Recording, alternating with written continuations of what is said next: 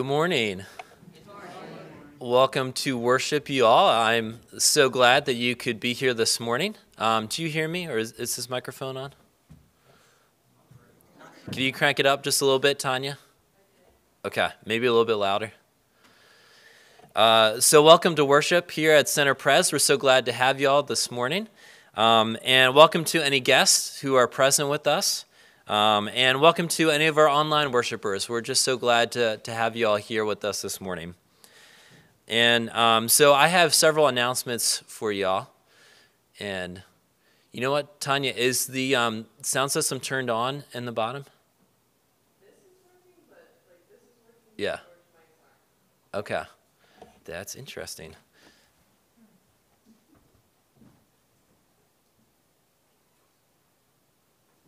Can we try this blue one, Tanya? Okay.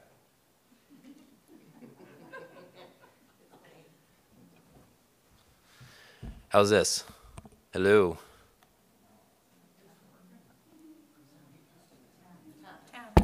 Oh, there we go. Wow. All right.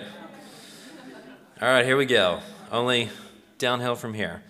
Um, so, some announcements for y'all before we get into worship. Uh, this is trash pickup week. Uh, so, there's a little sign up that Fred put on the bulletin board. If you have some free time this week, we'd love to have your help just to keep our little section of Perry County looking nice. And uh, the turkey supper still needs a lot more uh, donations and uh, cookie bakers and turkey bakers. So let me, I think there's an actual, uh, there's a cleaning day on October 21st, um, starting at 8 o'clock. So please join them if, if you're free. Um, and the turkey supper job list is posted. Please check and sign up wherever you can help. We need everyone. That was underlined twice. That's how important it is. I uh, found out that they are not above calling you all. So if you want to be spared um, the begging and pleading of the Turkey Supper Committee, you can just uh, sign up now, and everyone will win. Um, the uh, the newsletters for the November and December. Uh, sorry, the articles for the newsletter for the November December edition are due this week by the 14th. So if you can email or drop those off to Barb, that would be great. Uh, and I'm really excited to remind you that this upcoming Saturday is our Fall Fest.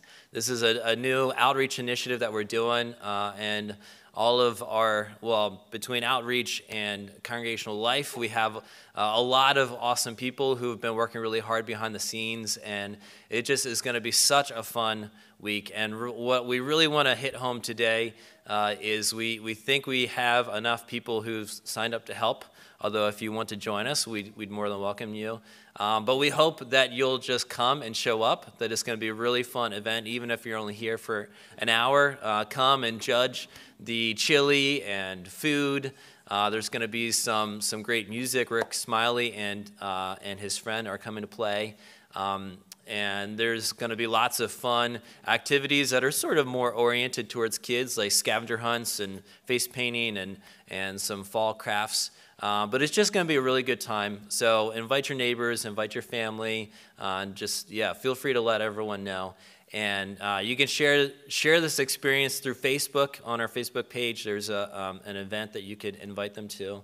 Um, and you can also share uh, just by telling them, telling them about it. There's also a, a, PDF of, of our flyer that was in the, the email that Barb sent on Thursday. So um, we hope that you'll come and, and tell your friends about it this week. And one last announcement: we still need someone to step up um, for the last um, for the trustees position.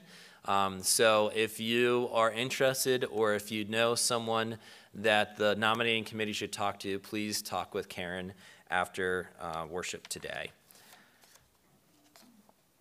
So, friends, we come to worship the one who knows us and loves us best. So join one another in praising uh, our God this morning. We come this morning to worship the one who knows our hearts. The Lord knows his people and faithfully serves all of us. Praise God, for we have, we have been given one who represents us before God. For Christ speaks for us before God, advocating for us even in our struggles. Let us worship the one who is faithful to us always. Let us worship God. Would you stand and join us in singing hymn 466, Oh, for a Thousand Tongues to Sing?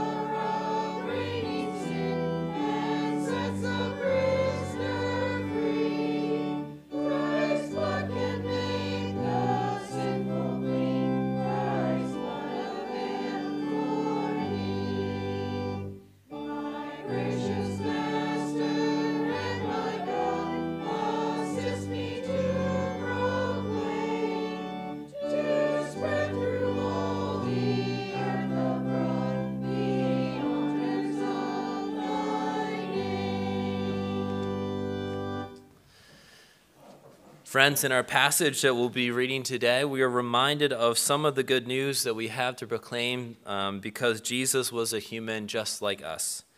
Knowing Christ was truly human in every way, we know that he experienced the same temptations and trials that we all are familiar with. Um, and because of this, uh, Christ meets us with great compassion and mercy uh, when we come to him with our failures. So let us not hold back from the Lord, but give to him all of ourselves, including our mistakes. Pray with me. Knowing that you see us and know our successes and failings, we confess to you the ways that we have failed in love. We remember the ways that we have not loved you as we ought. In your mercy, hear our prayers. We confess the ways that we have not loved one another well.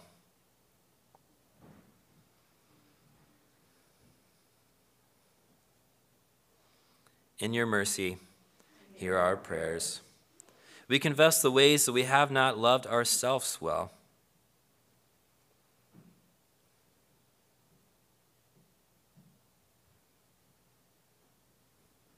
In your mercy,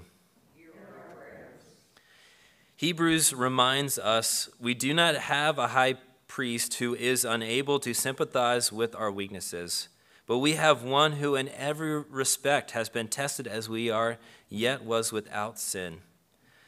Let us approach the throne of grace with boldness, so that we may receive and find grace need. Believe the good news of the gospel. In Jesus Christ, we are forgiven.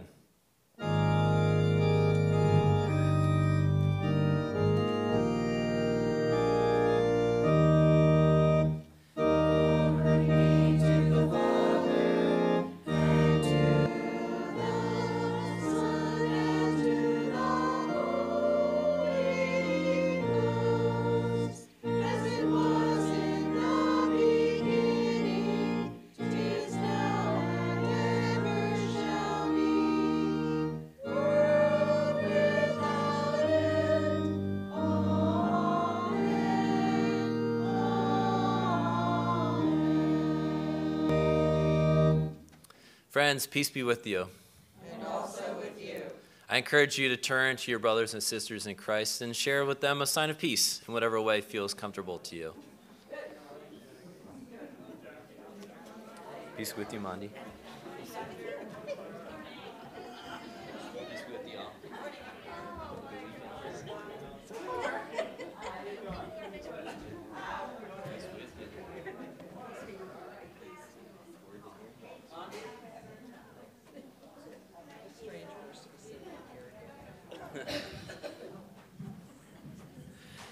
Thank you. You may be seated.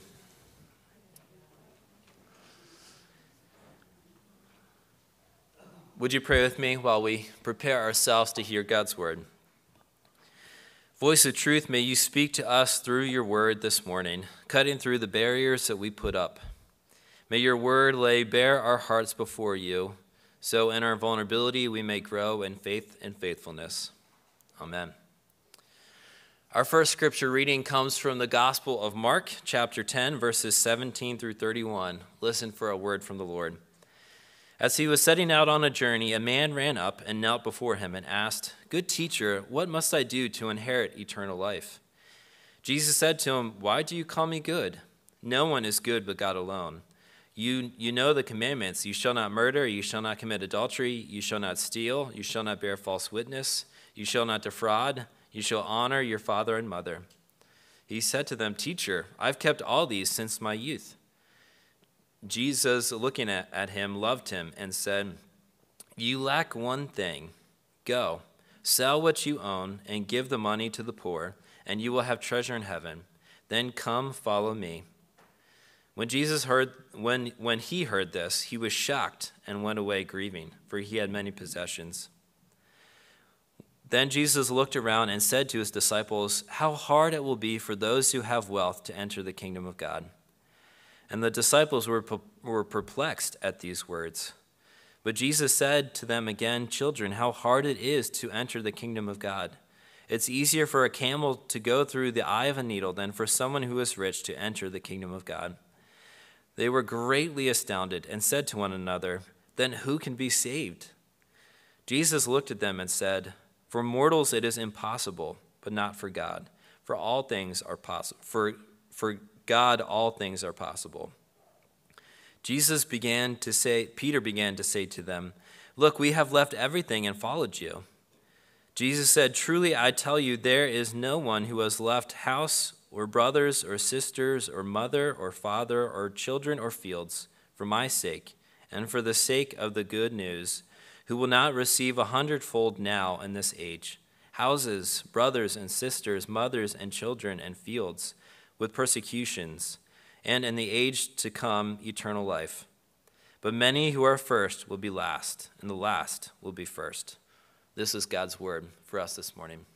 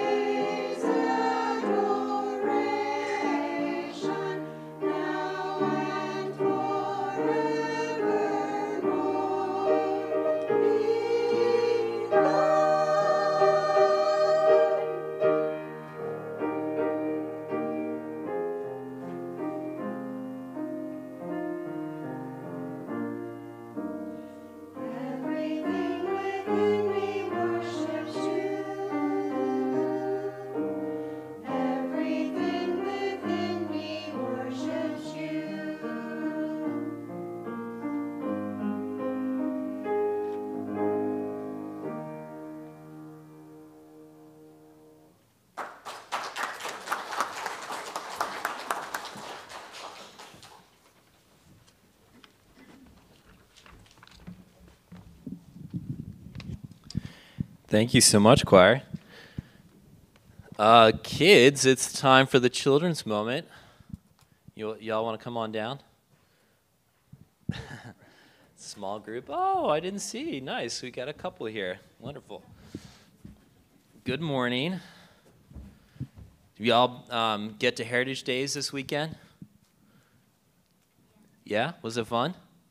Good. Nice. Um, so I was thinking about uh, the very first time I went to Liberia. Liberia is a country in Africa. And one of the first things that I realized was different is they, the people there, greet each other differently. So how how do you all like greet someone who you're just meeting? Can you show me? What do you do to like, if you're introducing yourself? Yeah, is that is that what you do too? You shake hands. Maybe you wave or something or say hi.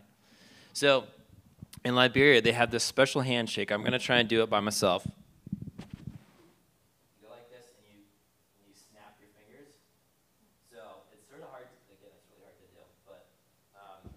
Like a normal handshake, but while you're doing it, you also snap your fingers and you hear this snap in it. Maybe, maybe we can try it together after worship. Um, so yeah, it's kind of interesting, right? So um, how they greet each other is really different. I wanted to ask um, if you do y'all have any like favorite movies or or uh, favorite musicians or something, or are you like really? Do you have a favorite athlete or someone famous? Do you know of someone? Well, so okay, so there are a lot of like really famous actors and athletes out there that people just go crazy over, right? And um, and when they when when their fans meet them, they sort of interact with them a lot different. Like they might come up and try and give them a big hug or ask for an autograph. Um, do you know that um, kings and queens exist in the world? Have you ever heard of? Yeah. So like in like Disney movies, you see like kings and queens and princesses and stuff. Um, so England is a place where there's a queen and there's princes and, and other people in the royal family and uh, I was reading about what it's like to greet them, and it's really different. So, if if you know if one of you is a member of the royal family, do you think I can just come up and shake your hand or give you a hug? No, no? why not? Because they have a special handship. Well, they don't really have a special handshake, but they sort of have these rules that say you're not allowed to touch the, the queen or her family it, unless they want you to. So if I'm the queen and I come up to shake your hand, then you can shake my hand. But you wouldn't be able to just come up and shake my hand. That would be a big no-no. Um, the same thing with, with like hug or taking a picture. Um, you know, the the queen or the royal family would have to offer to do it. Uh, you can't just go up and you know take a selfie with them or something. Um, so it's really different uh, going up to to meet these these royal people that uh, you can't just approach them as you would uh, someone like here at church if you were saying hi to them. Uh, so, have you ever heard about how? Have you ever heard someone call God our King? So that's that's um, a way of talking about God that we see in Scripture sometimes, and it kind of makes sense, right? So a king is sort of like the ultimate boss, right? The king bosses people around. Um, and it's not like the king necessarily is mean, but you know he he or the queen have ultimate control. That if the king says uh, you got to go do this thing, you got to listen, right? And it's sort of like that with God because God made us, God made everything. So I think that's what they mean by God as king. And um, and the Bible talks about this amazing throne in heaven that God sits on, and it's covered in jewels and it's sparkly and sometimes it's like on fire. So, um, if you saw this throne, do you think you'd feel comfortable just going up and shaking God's hand there and, you know, asking God for something? Or would you be sort of a bit more like, pull back a little bit and uh, let's see if God wants me to do that? How do you, do you think you might feel a little scared or a little intimidated? Yeah. I think I would. But um, what we're going to see in this passage today that um, that and and actually in the Old Testament, um, that sort of behavior of being a little cautious around God, a little careful around God, was, was what God um, said was good because um, if God is perfect, God doesn't make any mistakes, but we make a lot of mistakes, don't we? Right? We do bad things. Are you boys listening? We do bad things sometimes, and um, and so you know, if we're if God is so good and we're so bad that you know we we have to be cleansed, we have to um, be be made perfect for us to, to go and, and talk with God. And, and that's exactly what Jesus does. Through Jesus' work, he, he made it so that when God looks at us, he doesn't see our mistakes. He sees, uh, he sees the perfection that, that Jesus gave us. He, God can just see us. Hey, boys, sit up, please. Yep, you too, sit up. Um, he sees us as his children. He doesn't see us as mess ups. Um, so because of that, when when we see God, when we when we talk to God, we don't have to be all careful. We can just go and and approach God as if God's our Father, and that's the the really cool thing that Jesus did for us. That he, he sort of made it so that you, we don't have to be all careful and cautious. That we can just come to God and and tell God what we're uh, what we're worried about, or say, "Oh God, I messed up. Uh, will you help me?" And know that God will meet us with love. So. Let's pray and thank God for this. Heavenly Father, we thank you so much that, uh, that we know you're still king. We know that you're, you're still this amazing person, uh, but that we don't have to worry about coming to you, that we can just come to you as we would our own parents. Uh, that that's how much you love us. That's how you see us as, as one of your, your children. And we just ask, Lord, that you would help us to uh, to come to you whenever we need something, whenever we're worried about something, whenever we've made a mistake, knowing that, that you love us so much and you will greet us with love. In your name we pray. Amen. Thanks, friends.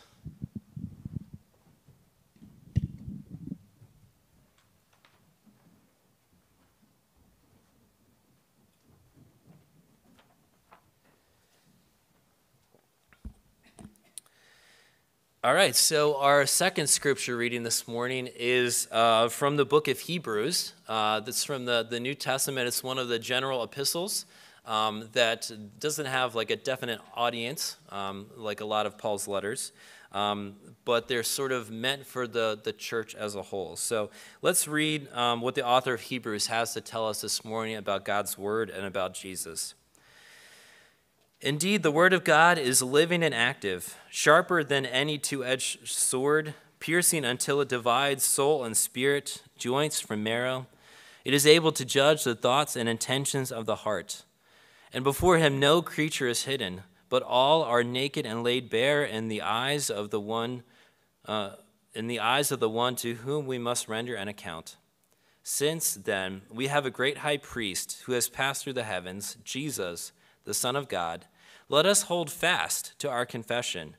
For we do not have a high, we do not have a high priest who is un, unable to sympathize with our weaknesses, but we have one who in every respect has been tested as we are, yet without sin.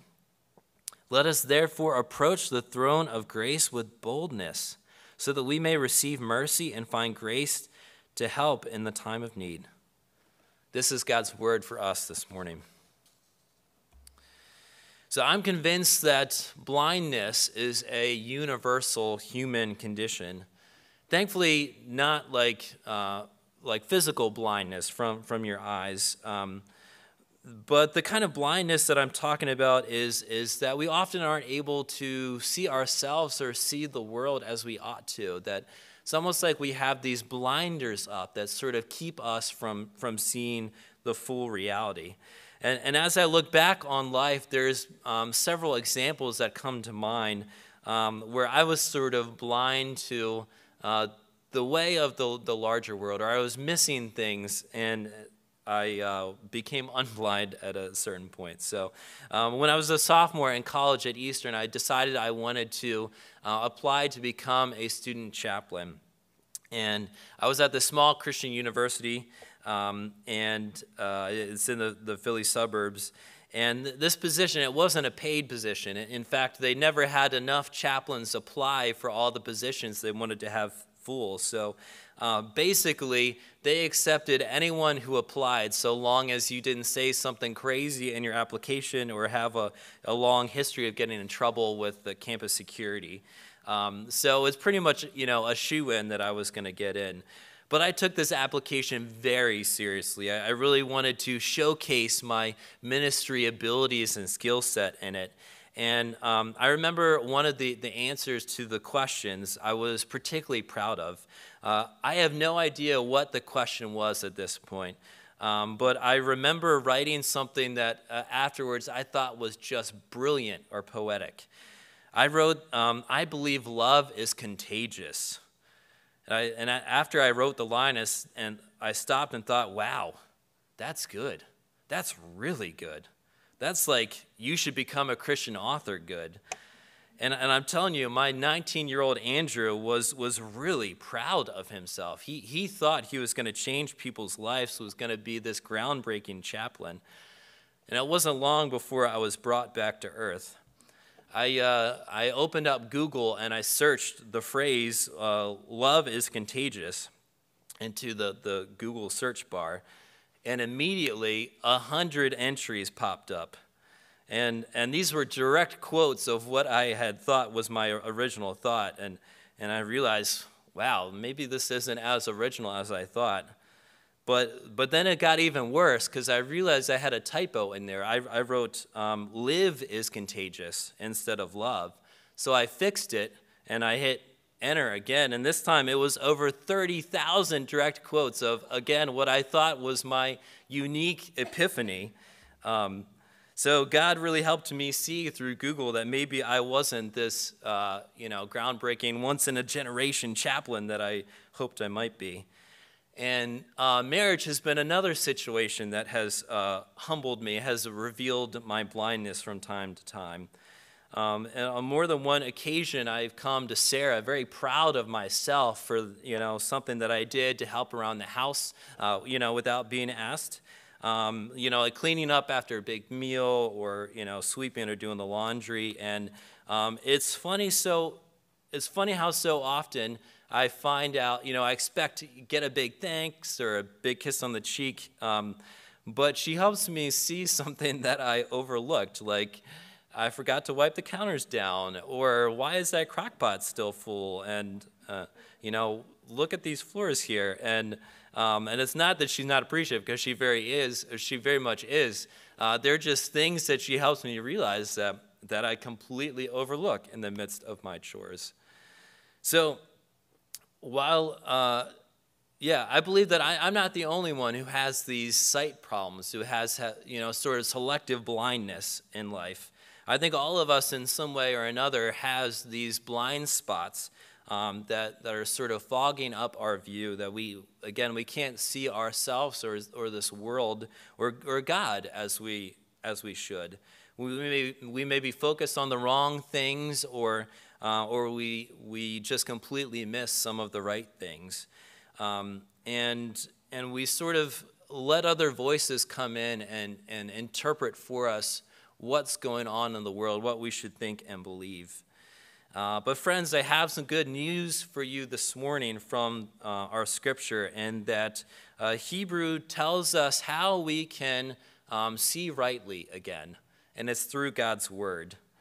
Um, and I, I meant to bring a Bible up here with me. Is this a Bible? No, that's a hymnal. Okay. Well, your Bible, your Bible is one of the greatest gifts um, that God has for you. It's one of the greatest blessings that God has given His people. Um, and as uh, and as we'll see today, it really is a part of the good news that we have to share uh, for us, and it's good news that, that God has for us.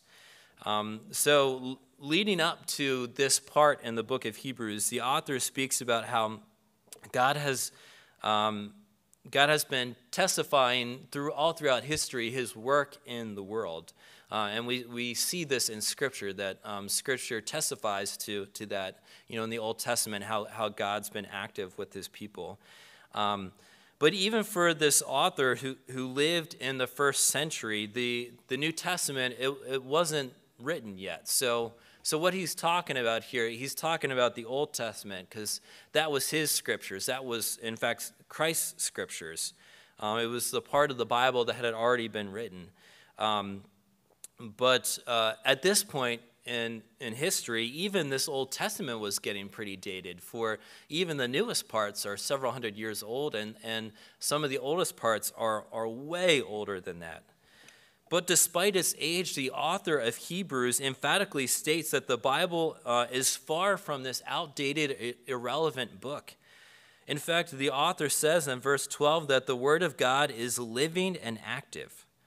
So even though it's this ancient book, um, God's Word is far from dead. Um, it's not this thing that is just preserving Israel's history or, or how God worked at this one time, but rather it's this living document through which God continues to speak to his people. Uh, it's described as an agent or something or, or someone that is out still doing God's work today. As, as Christians, we, we know this work uh, is done through the Holy Spirit uh, who makes God's word come alive in us and, and speaks to us individually and, and as a church as we submit ourselves to it. There have been times that I've read God's word and, and I felt like God wrote those words just for me for this day. I could feel God speaking to me so strongly. Um, and so, you know, this text is still inspiring, is still talking to us today just as much as it did uh, with its original hearers. Furthermore, the author of Hebrews, the author of Hebrews describes God's word as sharp and piercing. Um, this is an imagery used all throughout Scripture, and it's sort of the, the metaphor of a, of a scalpel, um, where God's, you know, the word is, is like a scalpel in God's hands that is um, dissecting us and, and is able to uh, to cut apart the good from the bad and uh, would, in a way uh, that hadn't happened before because it's all mixed together. This action um, of the Spirit through God's Word is both good and at times painful. It's like, you know, having to, to cut into your finger a little bit to remove that splinter that just got ingrained. It, it can really hurt when God's Word opens us up, but will also heal. The author goes on to say that God's word is able to judge the thoughts and intentions of our hearts. So, as we're being dissected by the Spirit, um, it's, it, it's able to differentiate for us the beauty and the ugliness within ourselves. Uh, it cuts right through the ways that, that we hide ourselves from God. Uh, it, it, it's presented as this great revealer of our true nature, both the good and, and bad, um, which we're often blind to. And, and in this way, I sort of think of God's word as like this cosmic strainer. Um, you know, like, like sometimes when you're making a stew, you, you look at the stew and it just looks like this one big mass. But if you, if you dip in a strainer, you can pull out and, and, um, and differentiate the, the beans and the, and the ham and the corn from, uh, from the bay leaf and the ham bone that you want to throw away. Um, so Hebrew, Hebrews makes it clear that indeed we are laid bare before God's penetrating word. Uh, it's as if we are completely exposed by it. No amount of doling ourselves up or putting on our Sunday best is going to cover up our sins before the eyes of God. Um, for God is able to see us as we truly are. And through Scripture, God helps us do that as well. So I, I know what you're thinking how is this good news that through Scripture we are judged by God? I mean, judgment doesn't feel like a good thing to us, right? It's good news because God's word dispels any illusion for us for, for who we are, who we really are, and, and how good or bad we truly are. If we submit ourselves to the light of Christ from God's word, we can see clearly just how in need of God's love, of Christ's mercy, we need. Um, God's, God's word shows us that we are broken and in need of a healer. And this is where Hebrews goes next with, with the good news. He, um, the author tells us about the one who can heal us. Hebrews describes Jesus as the great high priest who passed through the heavens. So, high, high priests, they were the most important priests all throughout Israel. Um, God sent, set aside the, the um, clan of, of, the Levites um, to serve as, as God's priests in Israel. Um, and, and the priests sort of acted as middlemen uh, during this old covenant. Uh, they would demonstrate God's love for us uh, in, in special ways. For as they accepted a sacrifice from a worshiper who came to offer a sacrifice to the Lord, it was as if God accepted that sacrifice himself. Um, you know, when, when a priest would partake, participate in a fellowship meal uh, during worship, it's as if God himself is fellowshipping with the worshiper. And on, on the flip side, the, the priest also represents humans to God. When they presented the person's sacrifice to God on their behalf, um, and, and when they went into the Holy of Holies, uh, which was the, the most sacred place, it's where the Ark of the Covenant dwelled, and where only the high priest was allowed to go um, once a year, uh, the priest would offer these, these special sacrifices on behalf of these individuals or the whole community to God. Um, so, so it, truly, there were a middleman who, who got to experience God's grace on behalf of us and got to give God's grace to others on behalf of God. And what Hebrews is, is asking its readers to remember is that they have a, we now have a great high priest, in fact, a perfect high priest. Uh, Jesus could be considered this perfect priest because, uh, firstly, he is a man just like us. He became, uh, he became a baby. He was born as a baby and he lived as one of us. And, um, but unlike any other high priest, he lived in, in perfect holiness and harmony with all of God's creation. Uh, verse 15 says that Jesus was tested in every way, but was without sin. Because he was truly human, he has this sympathy for us because he, he knows the struggles that we've gone through. He, he, he's felt it. He, um, he's been our, our brother and companion in, in every way um, through, through the trials and temptations of life. But uh, but even more than that, because Christ is without sin and because he is God's Son, his sacrifice on our behalf was a perfect sacrifice in a way that all the other high priests' sacrifices couldn't, could, in fact, could never be. So, what the author of Hebrews is saying is that God continues to speak to us through, through Scripture, um, which is being used to point us back to Christ, our Savior. And as we do, Christ meets us with grace and then takes us to the throne of God, uh, where we can seek God's forgiveness and God's help um, personally. And, and this points out the biggest difference um, between how Christ served as a high priest and, and how other priests serve. For the, whole, the, the high priest would go into the Holy of Holies alone. This was the, uh, they were the only person who was allowed in uh, in, in God's most sacred part of his home, and it only happened on the Day of Atonement. But because of Christ being this perfect high priest, um, he doesn't just go where God resides in heaven to represent us, but rather gives us access to God ourselves.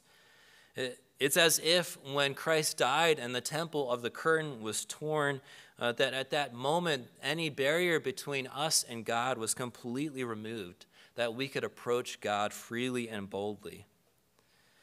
Christ, our high priest, gives us direct access to God where we can come to him with our concerns, with our failings, and, and know that we will be met. And, and this happens at God's throne, the, the place that most signifies God's majesty and power. Um, but even with that, we are still able to approach the throne of God with confidence because of what Christ did for us. So the word shows us of our need of Christ, and Christ makes a way for us to be directly with God. It's pretty amazing, isn't it? And again, it all starts with God's word. Friends, we may be blind to what, uh, what is really going on in our hearts, um, but God's word is the revealer for us. When we study God's word together or at home, we are laying ourselves um, bare before God, asking God to change and transform us. Every time we open this book, if we are truly seeking to learn and encounter and grow God or grow from God, um, the living God meets us and speaks to us. Every time we open the Bible, um, God is drawing us back to Him. To read God's word is to believe that God is still speaking to us today. Uh, and it's, it's truly an amazing act of faith and one of the most important things that we can do as believers. And God, God doesn't just use His word to convict us of our failures. No, God uses His word to shower us with blessings. And I've seen this again and again in my life.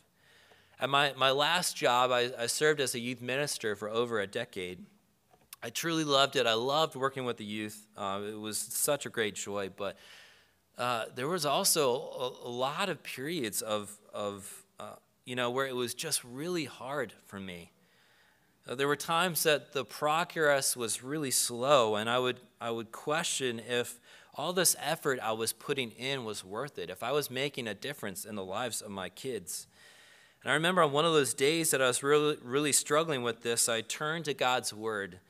And I read um, what God was doing and the lives of the apostles in the book of Acts. And, and I was reminded um, by God that these same apostles uh, were huge works in progress.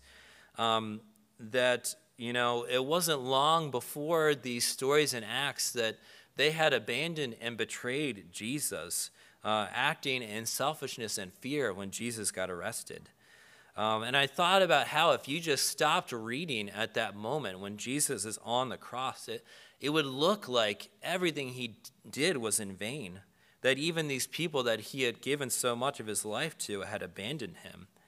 Um, but then as you see uh, the Spirit's work in this group in Acts, you see the amazing fruitfulness that came out of Jesus' work. And, and, you, and I began to sense that, you know, sometimes these seeds we plant take longer to grow. Um, but it doesn't mean that I haven't been planting good seeds in their, in their lives. And friends, this is how, how God works in, in His Word. Uh, it, it helps us take our blinders off. It, it helps us really see ourselves and our world as we ought to. There, there have been other times that I've read God's word that I hear God reminding me of my worth, which isn't centered in um, what I can do or accomplish, but comes from, um, from God who has called me and chosen me as his child. There's times I read God's word and I'm reminded who my true provider is which helps me let go of these things that I'm holding on to in fear. There's times I read God's word uh, and, and I hear a word of promise and encouragement that gives me, me hope to persevere in, in tough times I'm going through. There's times I open God's word seeking wisdom, and God's word gives me what I'm looking for. Friends, it would be impossible for us to, to count all the many ways that, that the Spirit has used God's word to speak to us, to speak truth or love or correction or mercy or peace or hope or, or faith in, in a way that we needed to hear it. It is in these words that God is, is so often choosing to meet us. And it's through the, the pages of, of Scripture that we are led slowly and steadily back into the arms of our Savior, who, who walks with us to the throne of God, who provides for all of our needs. Because of this, I encourage you to immerse yourself in God's Word. Let us wear out the pages of our Bibles together. Let us become so full of the Word that we carry it with us in our head and in our hearts. Let us seek to lay, lay, bare our hearts before God so that we may know how much we need the Lord and, and how much He loves us. By doing so, we will start to remove our blindness, and we can be a part of God's work to remove the blindness from the rest of the world, so all may, say, all may see clearly the perfect love of God. Amen. So, friends, if you're able to stand, I invite you to join in singing our next hymn, 144 Alleluia, Sing to Jesus.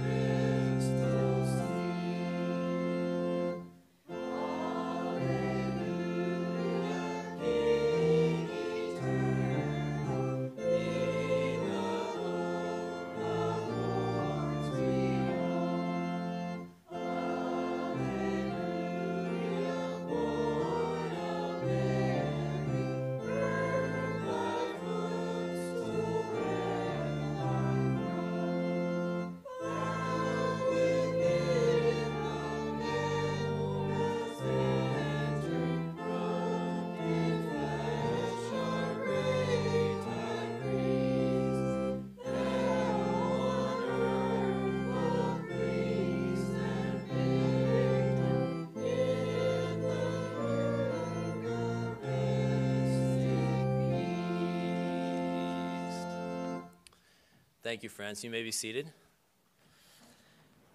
Will you join with me in saying what we believe about our great high priest using the words from uh, Philippians chapter 2?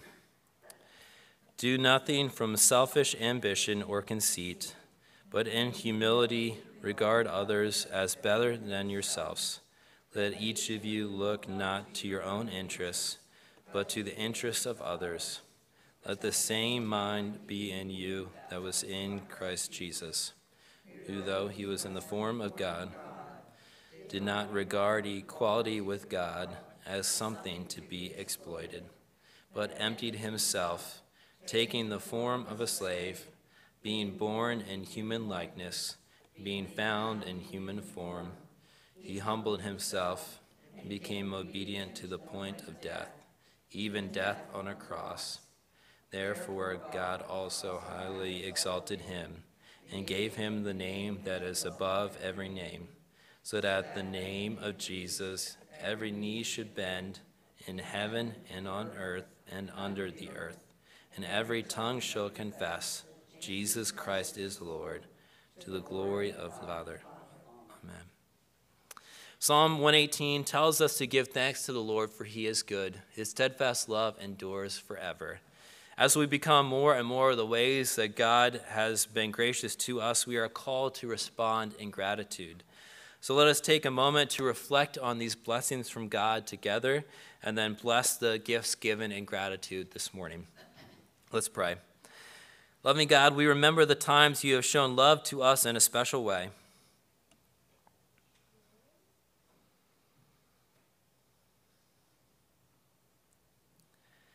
We remember the people in our lives that bring us joy.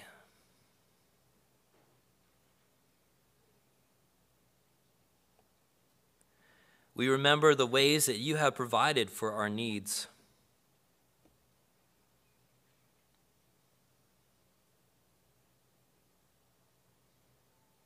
We remember when you forgave us and set us right again.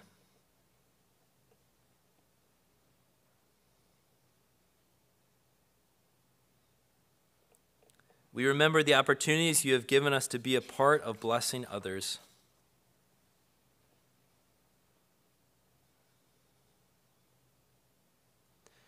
Truly, God, you have been so good to us. So we offer to you these humble prayers of gratitude and our offerings of our treasures to you. May you use these gifts to transform us and the world around us. Amen. So, friends, there's a number of things we can be praying for this morning as we give to the Lord our, our concerns. Um, Marge's uh, sister, is it sister in law?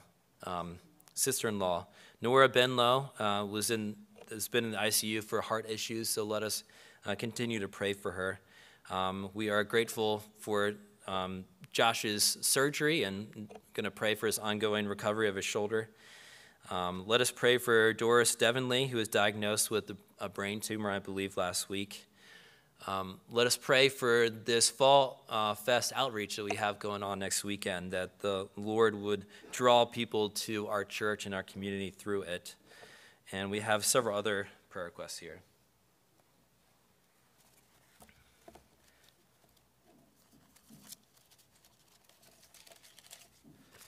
Please pray for uh, Sue Moose, who's having cataract surgery tomorrow. Please pray for Rachel and Luther Swager and their children. Rachel and Luther apparently may have COVID. The children are all well so far.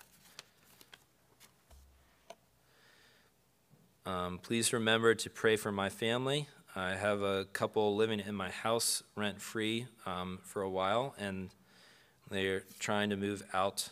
Um, yeah, so having difficulties with the rental situation and people who would not like to leave. So let's lift this person up in prayer. Pray for Ruth Eby as she celebrates uh, 101 years on Wednesday. Wow, that is Polly's mother in law. Friends, Christ has walked in our shoes and knows our struggles, so let's go to, um, to our friend in prayer. Dear Jesus, we thank you for your word, which reminded us today of the hope that we have through you. You loved us so much that you've entered our world as our peer, choosing to live each day with all the same struggles and hardships and trials that we face. That we face. You, you know the pain of loss. You know the sting of rejection and betrayal. You experienced unjust treatment. You know what it's like to not have others believe you. You also know what it's like to get sick, be wounded, and feel frail. It is truly amazing, Lord, that you could love us so much that you would leave your throne in heaven to be united with us in every way. We remember as well that Hebrews tells us that you are back in heaven again, serving as our high priest and intercessor before God, that we may know perfect forgiveness for our sins and also be given direct access to our God. Through you, there is no need to ask for others to speak on our behalf, but every day, wherever we are, we can close our eyes and speak with the one who created us and calls us beloved child. So, knowing how loved we are, we present to you our concerns. We lift up to you our concerns for all those that we love.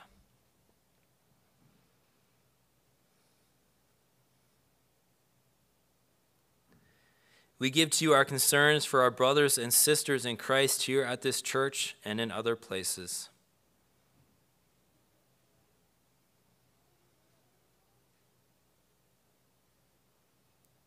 We pray for those who bear wounds of the mark of disease in their bodies, hearts, or minds.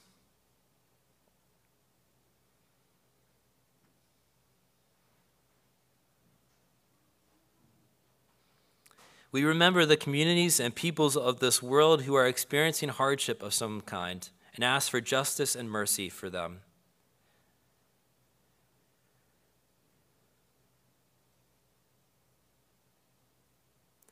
We pray for those who need uh, to hear or receive hope this week.